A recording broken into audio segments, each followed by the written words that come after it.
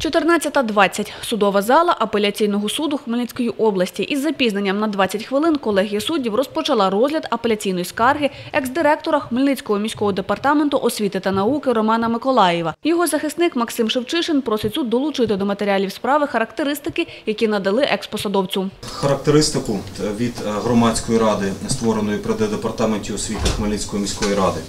Е, Окрім того, хочемо долучити характеристику е, Хмельницької міської ради з приводу Миколаєва, а саме е, того, що він характеризується, яким чином і інші відомості.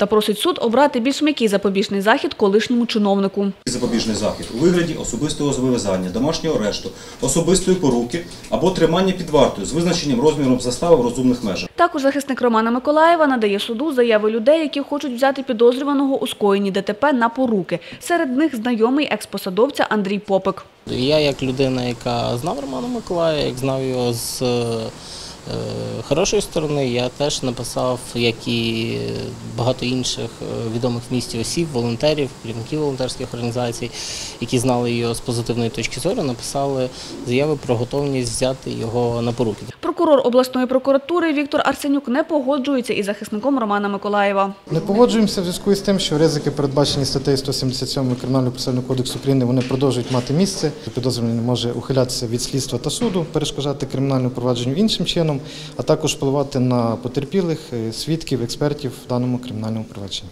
Сам Роман Миколаєв свою провину визнає. Те, що саме він був за кермом автівки, підтвердив. Та каже, у разі зміни запобіжного заходу на свідків впливати не буде, як і не буде переховуватись від слідства. навіть коли я виконував свої службові обов'язки і міг вчинити якийсь тиск адміністративний, не в моїх правилах було це робити.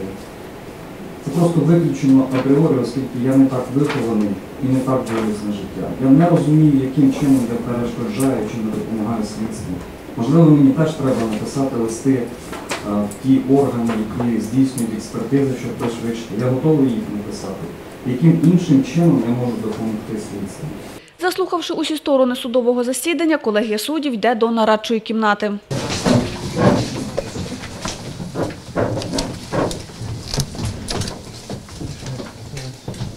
Через 15 хвилин судді повертаються з рішенням.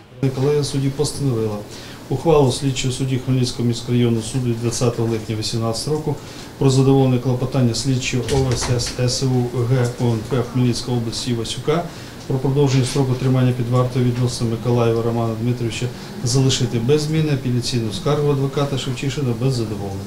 Ухвала набирає законної сили негайно після її винесення, є остаточною і оскарження в порядку не підлягає. Роман Миколаїв перебуватиме під вартою до 15 вересня. Дарина Денисенко, Іван Мовчан. Новини Поділля Центр.